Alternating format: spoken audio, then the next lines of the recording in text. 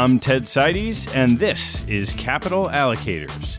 This show is an open exploration of the people and process behind capital allocation. Through conversations with leaders in the money game, we learn how these holders of the keys to the kingdom allocate their time and their capital. You can keep up to date by visiting capitalallocatorspodcast.com. My guest on today's show is Taimur Hyat, the Chief Operating Officer at PGIM, a $1.3 trillion asset manager across public equity and fixed income, private credit, real estate, and alternative strategies. Alongside PGIM's president and CEO, David Hunt, Taimur distills insights from across PGIM's portfolio teams and shares long term views on the investment implications of global megatrends annually. Their most recent megatrends piece, After the Great Lockdown, is the subject of our conversation. We cover Taimur's lessons from academic research in economics, management consulting, and working at Lehman Brothers through the financial crisis, PGIM's business, and the Megatrends series. We then turn to the latest Megatrends piece and discuss the impact of the pandemic on supply chains, inventory management, weightless firms, commercial and residential real estate, remote work, and purposeful firms. We close with a discussion of investment opportunities coming out of the pandemic. If you're as intrigued as I was, you can see all the previous Megatrends reports at pgim.com. Today's show is sponsored by Northern Trust Front Office Solutions. Sophisticated multi asset class investors need high tech and high touch data management solutions for their front and middle offices.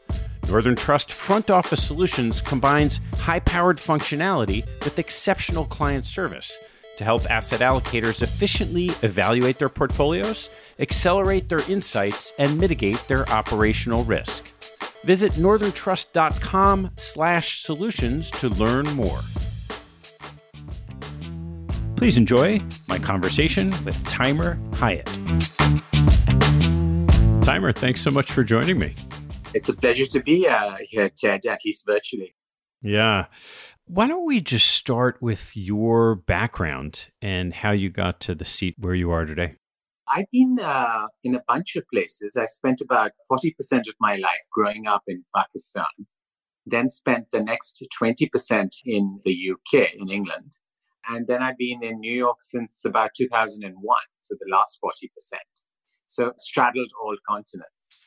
And I had a whole different career before I came to asset management and, and Wall Street. As a, I was a lecturer in economics at Oxford. I was uh, doing a PhD in development economics. I was studying extreme destitution, how the poorest of the poor rise up, and is it the marriages and the demographics of where they're growing up? Is it the decisions they make? The entire other end of the spectrum between poverty and wealth. And made a transition or a transformation almost at some point from that world of academics and Oxford and tutorials to McKinsey Consulting Asset Management and where I am now at PGIM. I can't let you go without trying to understand what did you find in your academic research? So I found a few interesting things. Perhaps the most interesting thing was how owning any asset, particularly land, completely transforms the journeys people can make out of deep poverty. If you own a land the size of a tablecloth, it gives you access to credit markets in rural economies around the world in poor countries. And that access to credit markets lets you weather storms in a way that if you have to pay for a big wedding, if you have to pay for the fact that you're unwell, small things that can tip people into destitution, you can protect your assets, your goats, your cows, your small uh, sharecropping piece of land. And that allows you to do much better. Even a tiny piece of land creates a binary outcome between people who end up surviving and thriving versus those who get sucked deeper into poverty. That was one of the few policy findings from what we did. And did you see anything come of those findings? You know, that is one of the reasons I left academics. The piece on land ownership, and it's a very complex topic linked to land reform and politics and wealth distribution. But academics in general is backward looking. You're looking at data that's five years old. So it's like looking out of the rear view mirror rather than looking forward. It's very isolatory. Everybody wants to be a big fish in a small pond. And a team coming together might make more progress than you can otherwise. And modern economics, this is a whole separate discussion we can have, is increasingly caught up in econometric complexity rather than trying to find policy conclusions that maybe don't have a 99%, sometimes spurious confidence interval, but actually are policy implementable. And that's what was one of the reasons that actually drew me out of academics and said, let's find something where we can make impact now rather than look backwards and get caught in that cycle.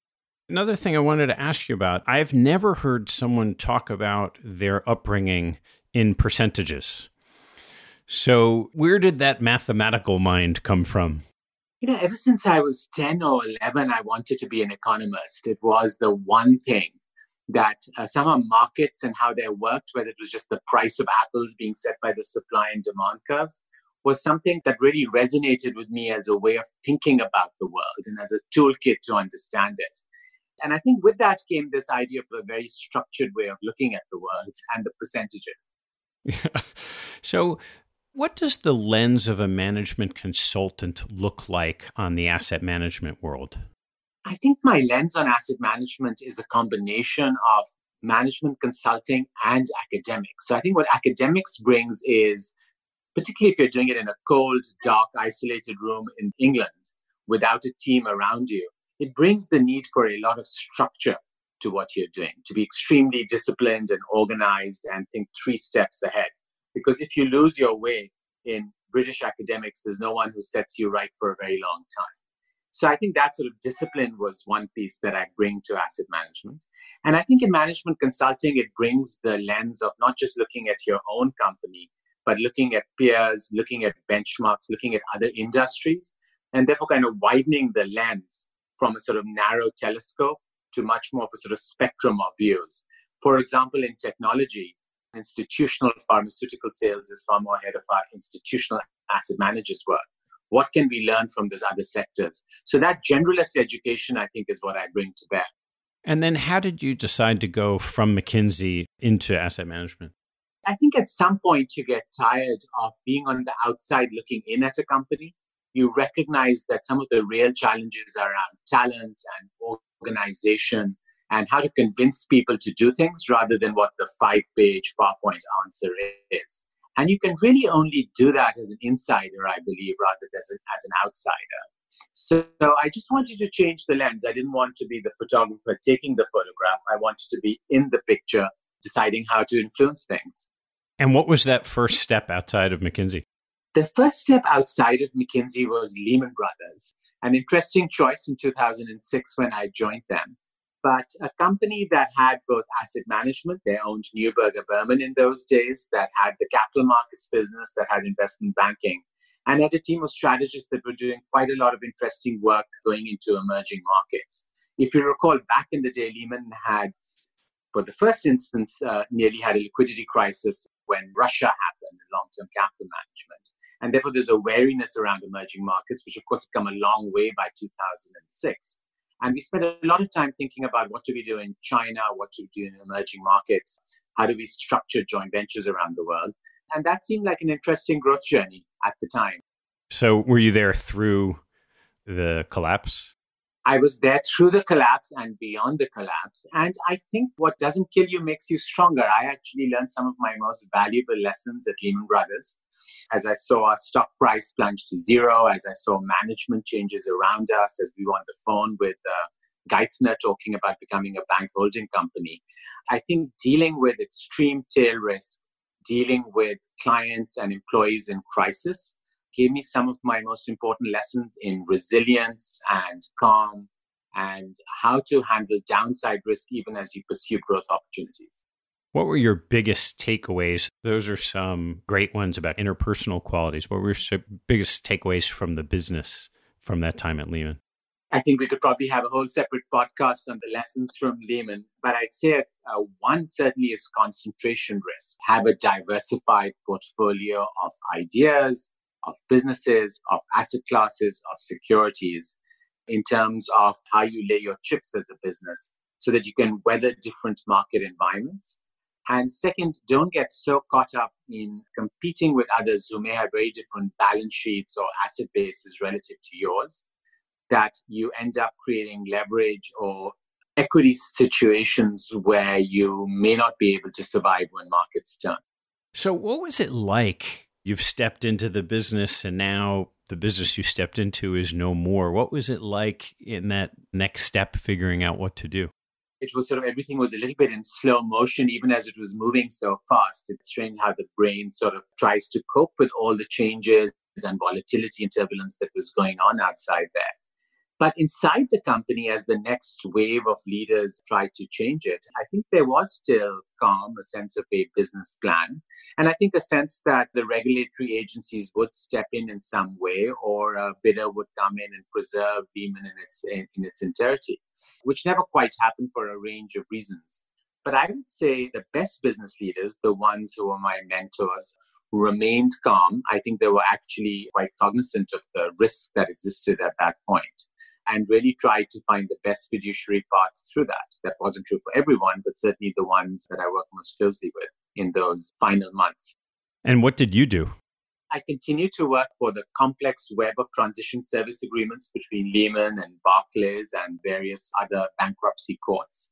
And then, having transitioned most of those topics to the next generation of Barclays leaders, I moved to Credit Suisse and to the CSAM, which is the asset management business at Credit Suisse and brand product development and strategy for them globally. Credit Suisse is very international. Obviously, the big hub is Zurich and managed uh, products around the world for Credit Suisse's asset management business.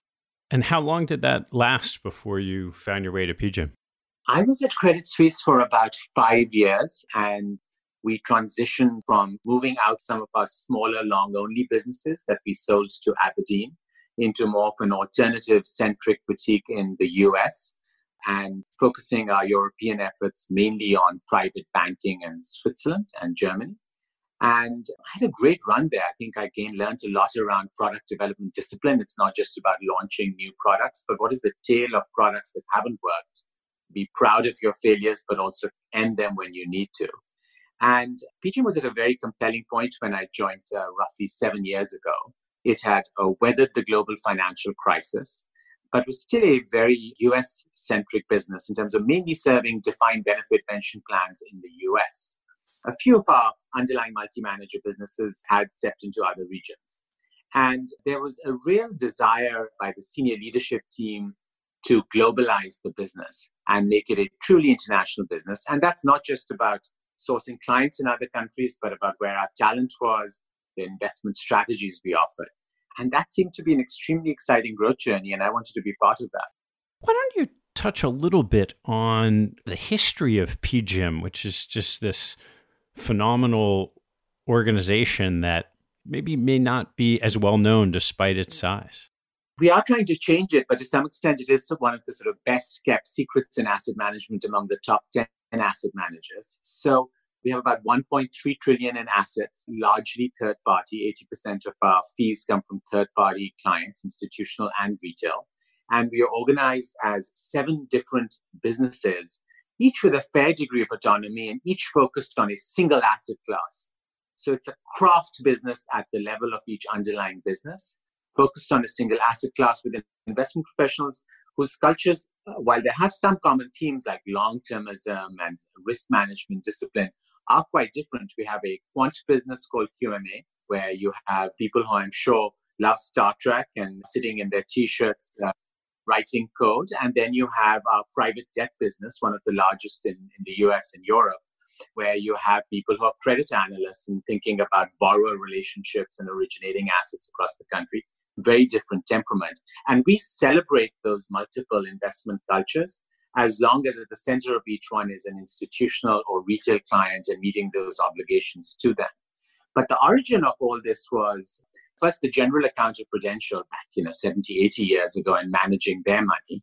And in the late 1990s, John Strangfeld, who later became the CEO of Prudential but was the head of PGIM at that point, said to really get the best investment performance, I need a team of investment talent that is the best in the industry at generating institutional quality investments. And for that, I need to build a third party business because to get the best talent and to have somebody who doesn't just hire you, but can also fire you when you underperform, you need third party clients. And I was reading the first documents from the 1990s that said, you know, we might have some success with defined benefit plans. It's going to be small. There are many competitors. Now we serve pretty much the vast majority of the top 100 pension plans in the world. And John also built this as something that has scale, but also depth. So we try and do both. We have these craft asset class boutique managers, but we also try and leverage the power of being a 1.3 trillion manager and the increasing number of areas where scale is critical and where the power of being at that scale really helps us with clients and in making investments that others really can't afford to make. We could go on and on, and maybe we'll have to sometime talking about all the intricacies of PGIM as a whole. But what I really want to focus on is part of this series you've been involved with called Megatrends. So it's, I guess, relatively new in your seven year tenure, but why don't you touch on what that is and then we can dive into the most recent work? So the power of megatrends, I think, is actually quite inextricably connected with the PGIM model because we have the unique ability, and I have a unique ability in my seat as CEO across PGIM to tap into the collective thinking and the asset class thinking of managers that range from private debt to direct real estate to commercial mortgages to, of course, PGIM fixed income and the public fixed income markets, and then both a quant and a fundamental lens into the equity universe and asset allocation. So we wanted to take themes where we could bring all these researchers and portfolio managers together and say, let's look at big secular trends that may not change the world in six months, but will certainly influence what the investment landscape and opportunity set looks like over three to five years and the risks and get all their perspectives. And that means we are not trying to sell a particular position. We are capturing our best ideas across public and private markets, equity and fixed income and real assets. And what a unique chance, if nothing else is an excuse for me to spend time with some of the most thoughtful investment professionals we had to understand how they think about these longer term trends, while obviously they also spend a lot more time on the tactical side. And what's the process for bringing the people together?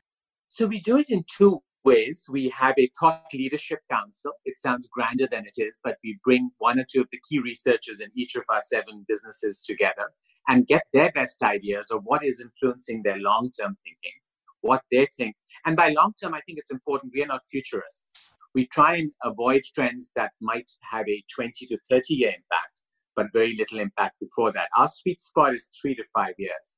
But we get that group together, we get some of our institutional coverage people together and say, what are clients asking you about? And that leads to a short list of five or seven ideas. And every year we take one idea and bring all these investment professionals in one on one in depth interviews and then collectively to debate them when there's a bid ask in views. There's no single house view at PGIM. There's a multitude of views, which is one of the power of the models. We've had Nobel Prize winners, IMF economists, others jump in as well and share their perspectives too. So it's kind of a combination of the external and the internal. And then how do you distill all that information into one of these papers?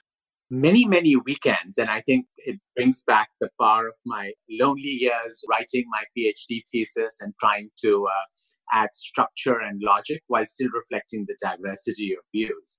But I think the key lens we take is what would the chief investment officer of a sovereign wealth fund, major pension plan, public or private, and endowment, what would be on their mind? And we try and apply that CIO lens to how we how they would navigate the issue and that's kind of the frame for the writing. And is the cadence of this intended to be once a year? Sometimes we get excited by other topics. So when a range of nationalist leaders rose across the US and Europe, we did a report on the ongoing tussle between sovereignty and nationalism and who'll win in the short term, which was nationalism, but why we think there's still lots of reasons why globalization ultimately will prevail.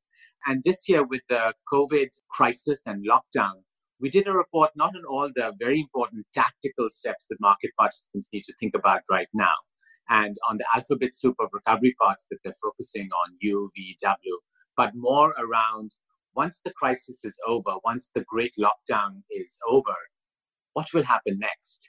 And that also was a special report because we were working and continue to work on climate change as the next big megatrend we are discovering. Obviously, these megatrends are also deeply interrelated with each other.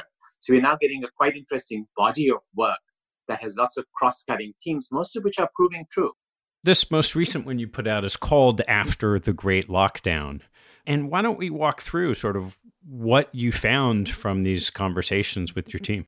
So I think the most compelling single theme across the report is that the cost of doing business and building resilience in business has gone up in the underlying companies that we as asset managers look at, whether it's private or public, the debt or equity of these companies. And that's for a variety of reasons. The first of which is supply chains. And we believe supply chains will actually barbell or bifurcate in two different directions. The current model of finding the cheapest cost location, often China, in which to place your globally linked supply chain will change. It was already changing because of the trade war and rising labor costs in China, but that's going to accelerate into two models. On the one hand, you're going to have a bunch of companies that will remain committed to globalization, but will now have more redundancy and resiliency in supply chains that are in multiple locations. Places like the Philippines, Vietnam, Bangladesh, Mexico will gain as a result of that kind of second location as they scale back in China and scale up there. And the second group of companies, and even beyond the sectors where governments will intervene, like medical supplies, will reshore. That's partly because automation has lowered the cost of coming back, partly because, you know, in some way, the human psyche does believe it's easier to keep track of your supply chain if it's in Arizona versus 10,000 miles away.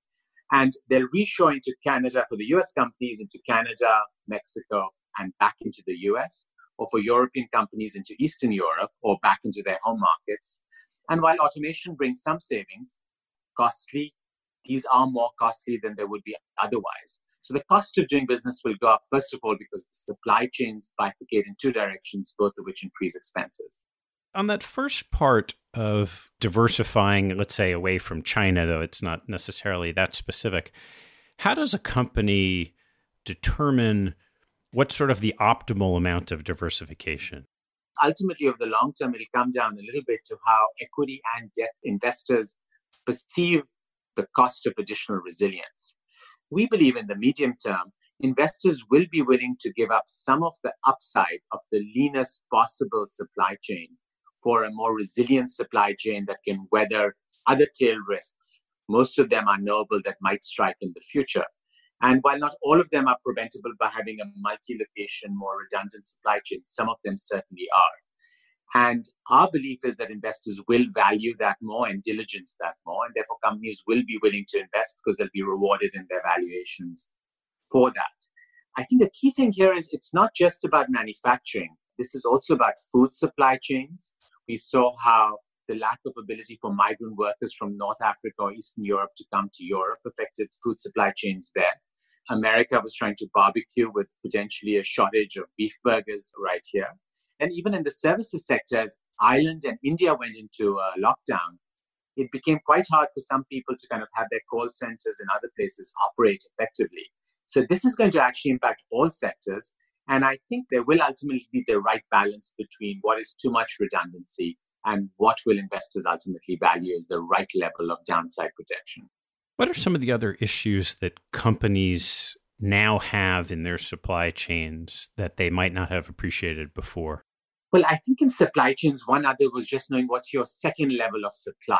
So you may know your direct suppliers, but who are your suppliers to your suppliers? And that brought about a third piece, which is have you digitized your supply chain? Do you have at your fingertips, perhaps from where you're stuck on a remote working situation yourself, able to understand where things are in the supply chain, what's working, what's broken. And I think investments in digitizing the supply chain and doing more due diligence of second order supply chains will grow. And many of these supplies are shared. So I think increasingly companies will think about what are the lower order parts of my supply chain that I want to make sure don't go bankrupt just because another company might have stopped using them some of this change in digitization and automation, there's been this big wave towards just in time inventory management. How have you thought about that lens on supply chains and running businesses? So we divide the world into two kinds of goods, perhaps somewhat simplistically, but I think usefully. We think on the consumer goods sides, the goods you and I and others listening to this podcast might purchase, there is a lot of substitutability. So you can use office grade toilet paper, residential toilet paper is in short supply. If you can't get your beef burger, maybe you can get a lamb burger. If you can't get Diet Coke, maybe you can get Diet Pepsi. So there is a lot of substitutability in the consumer side. And there we think just the increasing use of big data and data analytics to predict consumer demand and actually reduce the amount of inventory will be a more powerful force than the fact that there were shortages in certain areas. Further up the chain in manufacturing and capital goods, where substitution is much harder. You can't suddenly find another door handle for the car you're manufacturing if your door handle manufacturer has supply chain issues or is under lockdown. We do feel that the parts that are used to manufacture the end product will get more robust. And perhaps companies are thinking they went a little too far down the just in time spectrum and they need to be a little further on the just in case spectrum as well. You know, it feels like another dynamic, certainly in the markets, has been this bifurcation of these tech giants who have outperformed in the worst part of the pandemic compared to some sort of old line businesses that struggled with these supply chain issues. I know you've you've talked some about this concept of a weightless firm. And I'd love you to flesh through what that means both coming out of the pandemic and then also what it means as a megatrend on its own maybe as a megatrend on its own first, we have seen firms that focus on intangible assets, software, data, algorithms, design, R&D succeed and thrive.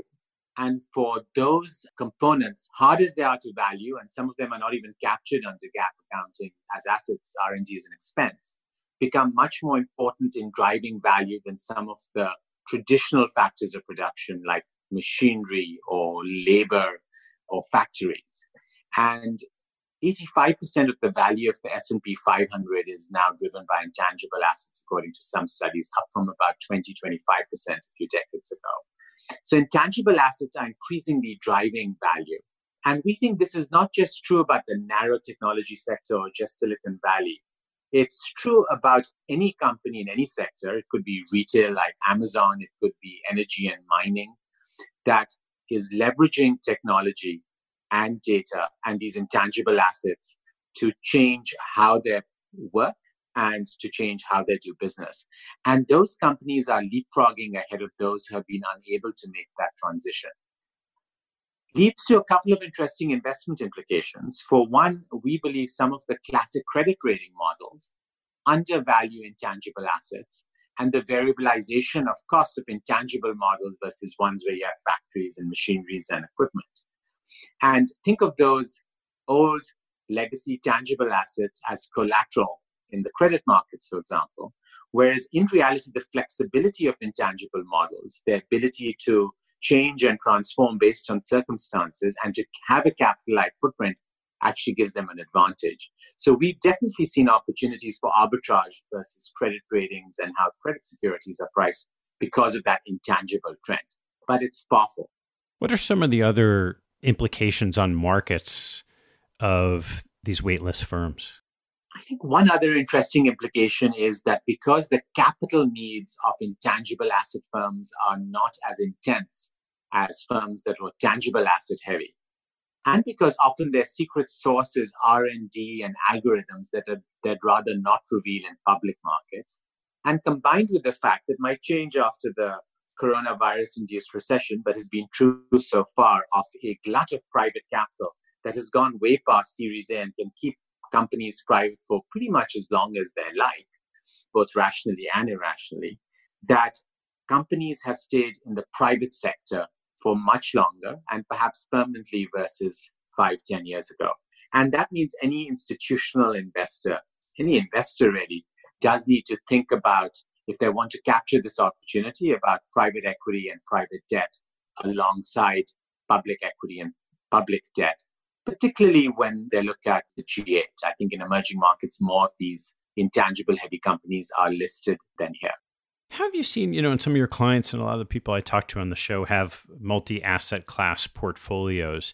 How does that transition of more capital getting deployed in the private markets and fewer public companies turn into potential shifts over the years in asset allocation structures? Well, it's interesting on the less listed public companies. Again, it is a US and perhaps European phenomenon. You are still seeing lots of IPOs and new companies accessing public markets in China and emerging markets. And we think that's good. It's good for the democratization of equity markets and capital. And part of the answer to some of the inequalities in wealth that we are seeing grow. We are seeing a bigger driver of asset allocation being the search for yield. And that search for yield is driving people to higher risk products within public markets. So, do you think more about emerging market debt rather than investment grade debt, as an example? Folks looking more at, say, global equities rather than just large cap domestic equities, and certainly looking for kind of the higher yields you do get in private markets. So, the combination of all those factors is driving to greater allocations to privates. I think, given some of the high valuations pre coronavirus, particularly private real estate debt and private debt, rather than necessarily private equity, where there was perhaps more of a sense of a bit of a bubble, but absolutely a perceptible shift. It's the first question that clients ask me when we have conversations with them is how should we be thinking about privates? What is the right balance between the liquidity we might need to meet our participant needs or for a cash requirement at some point and how much we can invest in private asset classes. Whenever we come out of this, there's always this notion that you go through a crisis and certain firms come out stronger, and others, in this case, there's a lot of potential bankruptcy risk. You've talked some about these superstar firms, these technology winners. What are the implications of that on portfolios going forward? So I think the easiest megatrends to predict, or the easiest trends impacted by COVID 19 and the resulting humanitarian and economic crisis, are ones that are accelerations of things already underway. We can talk later about things that we think might be a little bit of a reversal, but those are always harder to predict and sometimes don't always come true. But I do think the rise of the weightless firm has accelerated and will lead to even greater success of companies that are revolutionizing their business models through the use of technology and technology platforms. An obvious example of a winner and loser is I think this accelerates the demise of the department store anchored retail store and the retail companies that operate in that environment and increase online delivery mechanisms, including retail, and including quite fascinatingly luxury goods. So Gucci actually saw a 21% increase in online sales in Asia on the luxury end of the spectrum, even as their store sales went down. So luxury brands are even building direct consumer connections rather than working through wholesalers and department stores. So I think those wholesaling intermediaries, retail driven department stores, those models will be much more challenged than ones that rely on technology. And that includes companies that are part of the cloud computing infrastructure, not just the big AWS, but also people who provide cloud security, cloud transmission services around the cloud. I think it'll be good for companies that support remote working, video conferencing, video apps, including the one we're using right now. It'll be good for streaming media. I think apart from big sporting events, the time when people are willing to sit through a bunch of ads as they watch their favorite TV programs may well be over. So streaming apps will do well. I think 5G more generally will do well as wireless speeds become more important. And in real estate, certainly the data centers and cell phone towers that power this technology centered world will become more important. I, I, think more broadly, technology is the new infrastructure of the US and global economy, and firms that participate in that will, will do well. One of the things people are talking a lot about through this pandemic is what the future looks like of real estate, particularly, say, commercial real estate, but also residential. And I know that's one of the after effects of the great lockdown you talked about. So, I'd love to hear your perspective on all things real estate. Absolutely. So, maybe let's do a quick asset class tour within re- commercial real estate. I think, in terms of accelerating trends, the trends to logistics and distribution facilities, particularly those supporting the last mile delivery of goods and products to consumers around the world will grow. This is not just about the big US and European companies, there's a whole range of local oligopolists and monopolists in different emerging markets that control those markets. So it's actually quite a broad set of companies that fulfill that function. Mercado Libre in uh, Latin America, for example, is one. Second, cold storage facilities as groceries go online as well. Nobody wants to touch that cold tomato or squeeze that lime before they buy it, but are willing to buy it online. I think that will be a permanent shift in the convenience factor. So cold storage real estate will grow. We do think the demise of the office is a place where people convene, where companies' cultures and visions and missions are reinforced, particularly for new employees as these companies grow and change will remain more important than those who say everybody will move to remote working. But undoubtedly, you will have about, let's call it 15, 25% of employees, anybody's guess, who might be able to work more remotely on more days. And we think it'll lead to a rise in hot desking and more efficient use of office real estate space. At the same time, probably the size of cubicles and spaces will grow. There's only so much you can do with plexiglass, and that'll act as a bit of a counterbalance. But we do think humans ultimately treat offices as part of their social network, and we are social creatures. And companies ultimately are a combination of the cultural features that make one company in a sector different from another. And you can't reinforce that through complete remote working. So we do think offices will exist, but they'll need to be reimagined and they'll need to be much more flexible. Senior housing at the low end has seen a lot of really sad and tragic stories come out of that. We do think it'll lead to a reform of what that looks like, but nevertheless, the aging wave, something we've written about in another megatrend, is true. It's not just true in the US, it's true in China, in Italy, in the UK. And we do think ultimately safe senior housing will continue to grow. And then the final question is residential, Ted, which is very interesting. What happens to big cities? And what are your thoughts? So, this is one where you have had a positive trend for the last five, ten years for people to kind of try and embody this live, work, play lifestyle where you can walk to your restaurant, walk to your job, walk to the theater. And that's created hubs in places like Atlanta and Nashville and Austin. And of course, made big cities like New York and London and San Francisco even more attractive, not just for millennials, but also for baby boomers who become empty nesters and return there. So this one is one that had a very rich range of views within PGIM as we talked to folks because it is a bit of a reversal. But we do have a sense that certainly the desire for safety and security and personal space will grow. That's a couple of micro feature trends.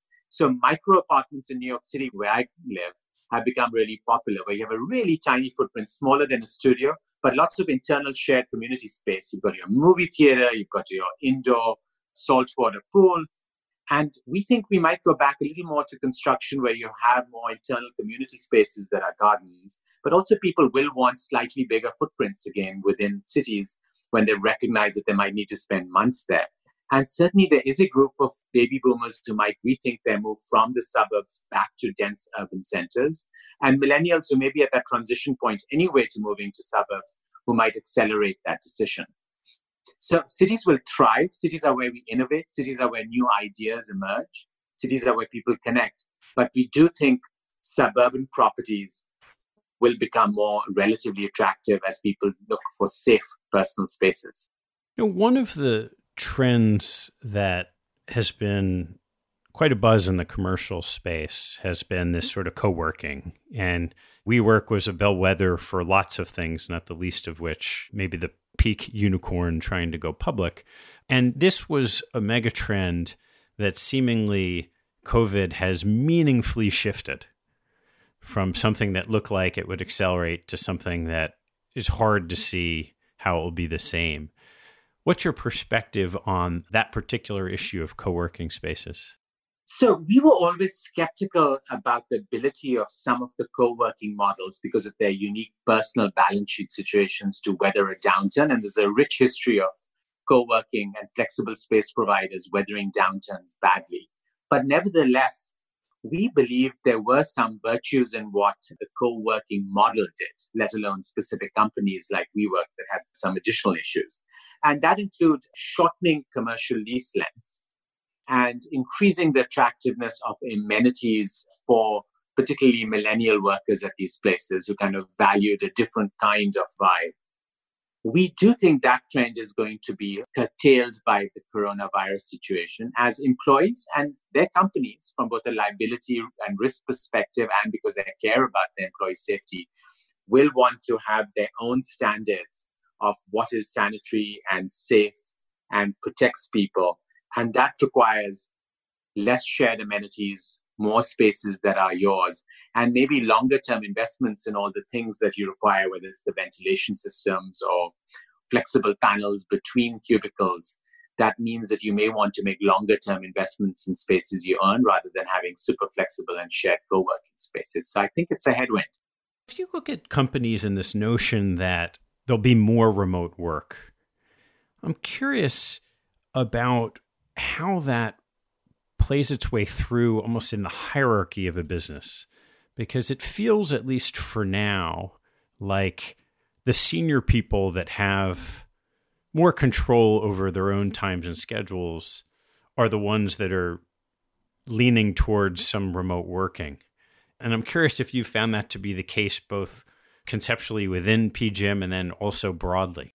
Well, I certainly think more broadly that the COVID 19 crisis has led to an exacerbation of both people understanding and the perception of inequalities between those who had the resources to weather the storm and perhaps leave dense urban centers to safer places, and those, whether they were essential workers or lower income workers who had no choice but to survive the storm at its center.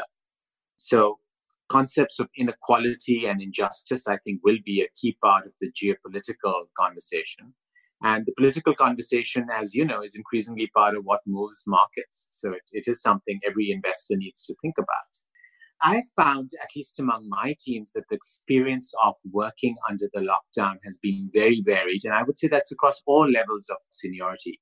Some people have really found the absence of the commute, the ability to spend time with their kids, having meals and discussing what's going on in the world. Actually, quite refreshing. They miss their colleagues. They miss what one of them said was a 3D view of the world rather than the 2D view through Zoom and WebEx and so on. But they have found that quite empowering.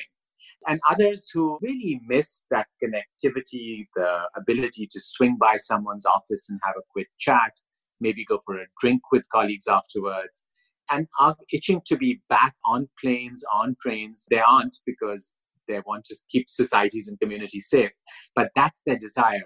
I think it cuts through all levels in seniority. And we'll end up, I think, with a new equilibrium where there'll be a range of employees in roles that perhaps don't require them to come in every day, who will say, I can be as effective and as productive even if I work remotely two days a week, or if I spend more time visiting my clients or real estate properties rather than coming into the physical office. I think the office and work have been untethered, and I think that will be permanent for some group of people.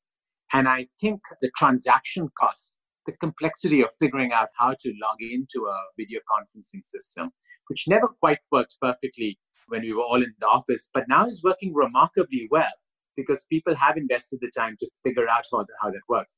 Those transaction costs, while they're small, really prevent new behaviors we've spent that money. We've taken that cost. I think that'll lead to some permanent changes in how people value remote working. How do you think that the management of companies will consider going forward this, let's call it inequality that has exacerbated over time? And now moving forward, you mentioned earlier ESG as a potential paper. Just sort of thoughts on that whole movement. So, as part of the future means business, our megatrends that talked about kind of big ways corporate archetypes are changing. One of our trends was the purposeful firm. And we argued that Milton Friedman orthodoxy, that shareholder value maximization is the only thing a company should care about. Whether you agree with that view or not, companies can no longer afford to be perceived to be following that philosophy. And some of them are walking the walk, but all of them are talking the talk they all recognize that there's a much broader alliance of stakeholders their own employees, their customers, regulators, the communities in which they operate in. And they need to be seen as considering the views, the rights, and the responsibilities to that broader community. And I think that is one of the reasons that you've seen with some of the current unrest around racial injustice, around some of the inequalities laid bare by the pandemic driven crisis, that you've seen corporate leaders come out publicly and voice their support on these issues.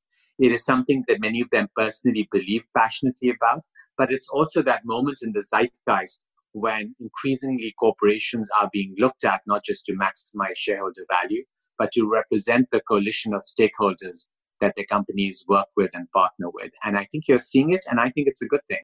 You touched on investment implications of this, and I've just done this whole series on ESG and sustainable investing, and and curious your thoughts of how this plays through in the markets over time. I've heard the series on ESG, and I'd encourage everyone interested in ESG investing who integrate ESG into their investment process to listen to it. It was fascinating. So I think it's extremely complicated, is the first thing to bear in mind, because there are multiple layers of obfuscation that happened.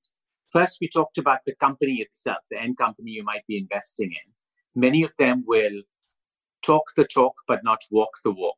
It's a marketing and media exercise in some cases rather than a real exercise. And you've got to find metrics that actually tell you which companies are actually taking real actions that are going to have tangible impacts on ESG rather than merely making it part of a marketing machine. And there are things like how many pollution incidents you've had, actual stats on diversity and so on that can give you a sense of that. The second layer then is even if a company is actually doing something, does it have a material impact on their investment returns? Does it affect valuations? There might be very good social things a company is doing that the market is not yet rewarding or that improve the social well-being of a company but may not improve its valuation outcomes and then if you're an esg investor those are great things to invest in because you made sure they're tangible and real and you care about them intrinsically but you might also want to separate out things that are material movers of valuation things like board governance, for example, that has lots of empirically proven ability to change things. Things like climate responsibility that might create litigation risk and therefore affect long term value. And you might want to separate out those material factors. And then for those material factors, you wouldn't want a separate ESG process sitting off on the side.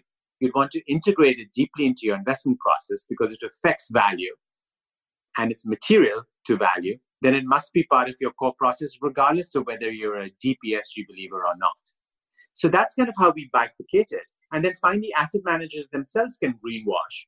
And as an end investor, you need to see, in addition to kind of the walkers versus the talkers, versus the material factors versus the factors that socially matter but are not material for valuation, whether the company is integrated it, how much is the company greenwashing their results, versus truly has an ESG process that's integrated into the core of how they make investment decisions.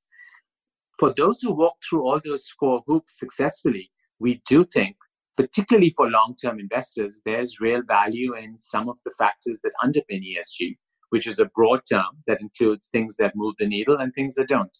And what are some of the ones you think are the most impactful?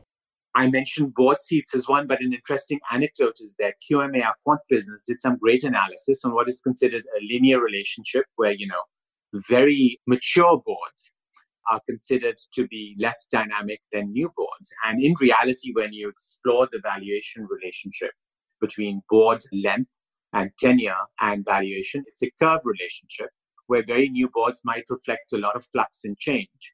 And indeed, very long tenured boards may affect a lack of ability to move, and there's an optimal sweet spot. So these relationships are nonlinear. Governance, I think, is a good example. I think the longer your horizon, so private equity, infrastructure, real estate, these things become much more obvious. There are many things like you know safety standards in, in our buildings, the kinds of tenants you have, how much energy efficiency have you created through being more aware of climate change? How are you thinking about flood risk versus your portfolio of infrastructure and real estate investments? Those are some of the obvious ones. There are many more that work in a nuanced manner. And I think increasingly the ESG effort is really focusing in asset managers to really think very thoughtfully about each of those and how it moves value versus those that haven't yet been priced in. Now, we started this whole conversation about what happens after the great lockdown with the notion that costs will go up. And maybe aside from these sort of really technology driven weightless firms, it feels like we might have hit peak profitability in markets if that's the case. And I'm just curious with markets having bounced back from lows, how do you consider the future of these businesses in thinking through where you find great investment opportunities? I do think it's really about being an active investment manager. And while benchmarks and indices may be certainly, in the case of equities, assuming a very sharp V shaped recovery and therefore quite buoyantly priced, finding select pockets, whether it's technology or other sectors in emerging markets where you are seeing companies with opportunities is important. I do think it's also the power of being in multiple asset classes the way we are. So we are thinking about opportunities now in direct lending and mezzanine, where you may find some very attractive pricing entering into the recessionary environment that we are now in. We are thinking about distressed opportunities. And in real estate, it is so localized in terms of the pricing trends. We fortunately have a portfolio that's quite resilient to sectors like hospitality and retail that suffered quite a lot in the crisis. But there will be new opportunities that come out of the repricing that this recession has driven. So we are still quite optimistic that this could be a good time over the now and the next six to nine months for investors to return to markets at a pretty attractive new pricing point. I want to circle back to PGIM and in particular just ask the question you're working at a investment manager with over a trillion in assets that somehow as you said maybe is the best kept secret of the largest asset managers What's been the key driver of the success of the asset growth and the products over the years? I think several factors. First, we have a model that treats asset management and investment management like a craft rather than a machine. We have businesses which have a group of senior leaders focused just on that single asset class, allowed to follow their own investment process with their own investment discipline and without some of the confusion and noise that comes from broader integration, trying to do too many things. So I'd say the discipline and focus of our model is a key driver, and the belief that it's a craft rather than a scaled technology company that we're trying to build. I think it's the long tenure of our teams. People come to the PGIM to build a career. It's not a stopping point on the way somewhere. Our average tenure is 16 and a half years for our portfolio managers. That allows them to work well, not just remotely during the crisis, but have really intense, rich debates and come to the best answer because they've known each other and they've worked through different cycles and market environments. The pattern recognition is much longer. And third, I would say it's the long termism. So even in our public businesses or the private businesses, the long termism of our perspective allows us to be more disciplined in our risk management and to see through shorter term movements that might faze others. Well, Taimur, I want to turn to a few closing questions before I let you go. What's your favorite hobby or activity outside of work and family? So, one of the little projects I'm doing is typography. I'm designing my own font. And living in New York City, one of the great benefits is there's a whole host of typographers. I didn't even know there existed communities that meet to critique fonts over beers in Brooklyn bars and can help you learn it. Typography is brilliant because it's all digital these days. But what really distinguishes a font is the ability to bring that human frailty into that digital font, which means it should have the same strokes as the initial original calligraphic instrument that created it, a broad-nibbed pen or a chalk or an etching device. And it must have imperfections to not look too perfect and therefore capture the human eye. And what really matters is not the black of the letter, but the counters, the spaces between the letters. So I find great aesthetic beauty, digital perfection, the shape of the curves of each letter, the M, the A, really matter. And I'm devising my own font. Was there something that frustrated you about the litany of existing fonts that led you to that pursuit? I am quite obsessed with fonts, and I decided that I wasn't quite in love with the italics version of Garamond, which otherwise is my favorite font, as all my teens and colleagues and friends know. And I tried to just change the italicization of Garamond and discovered that that's like adding a mustache to the Mona Lisa. Typographers frown on that. And so I had to turn to the drawing board and start a multi year labor of love of beginning my own font using a range of incredible new digital tools that exist to do that, but also sketching out these letters. All right. Well, you may have answered this next one, but we'll try it anyway. If you started your career over today, money was no object, and you couldn't be an investor or an academic, what do you think you'd like to do? So it wouldn't be typography because I think I only have one font in me. It would be to set up a uh, restaurant. I'm a big cook. And I think while I realize the financial risks of a restaurant, given that your question says money is no object, I would take one of the upstate New York highways the Taconic Parkway, find an old diner that might be in bankruptcy, one of those beautiful buildings with red roofs next to a gas station, and convert it into a 16 seat restaurant that serves absolutely still serves grilled cheese sandwiches and burgers during the day, but becomes a small omakase restaurant with a tasting menu with local ingredients in the evening. And spend my time designing craft cocktails and coming up with locally sourced ingredients and experimenting there. Well, here's a new one. What new habits have you developed during the pandemic? And we can go good and bad. And when we get to bad, just to be open about it, I have developed a daily habit of eating Froot Loops, which is my corona vice, if you will. We've probably all developed a few corona vices, but in the same spirit, I would say one has been a slight obsession, which sadly is not unique when I look at people's Instagram feeds of baking banana bread and experimenting with different versions pretty much every second or third day. So I made one with hazelnuts instead of walnuts. I've had rum infused raisins.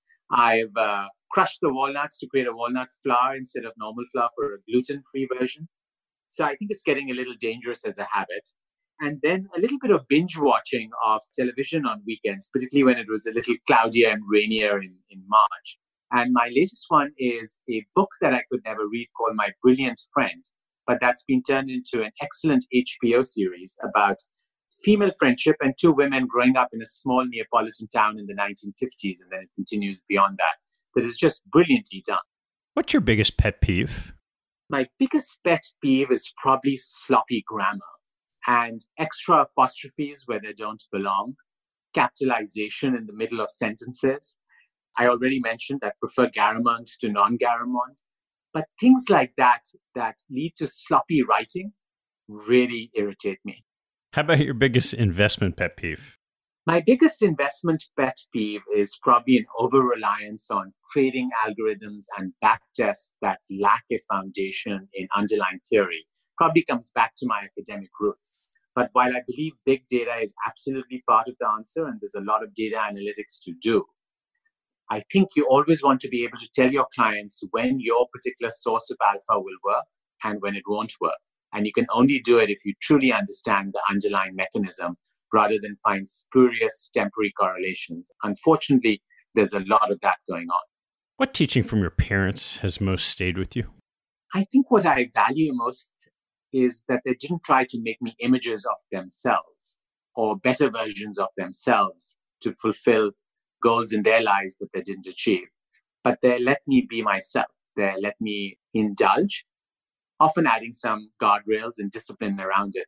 But they let me indulge in, in my discipline and trusted me.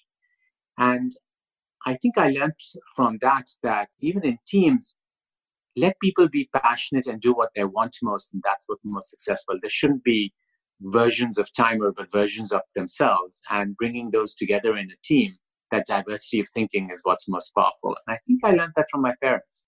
Terrific. Taimur, last one. What life lesson have you learned that you wish you knew a lot earlier in life?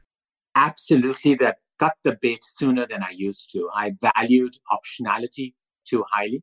I, I wanted options. I sometimes overinvested in things where I should have seen the signals that this isn't going to work and cut that particular investment, that particular idea sooner. And I think it's not about being ruthless, it's about being disciplined, trying lots of things, but also cutting loose quickly when you need to is something I do much more now. And I think it's a good thing. I wish I'd done it a decade or two ago. Taimur, this is fascinating. And I hope we'll do it again the next time your Megatrends comes out. Absolutely. We covered a ton of ground. It was just a fascinating chat from my perspective. Thank you for doing this. Thanks for listening to this episode. I hope you found a nugget or two to take away and apply in your investing and your life. If you'd like what you heard, please tell a friend and maybe even write a review on iTunes. You'll help others discover the show, and I thank you for it. Have a good one, and see you next time.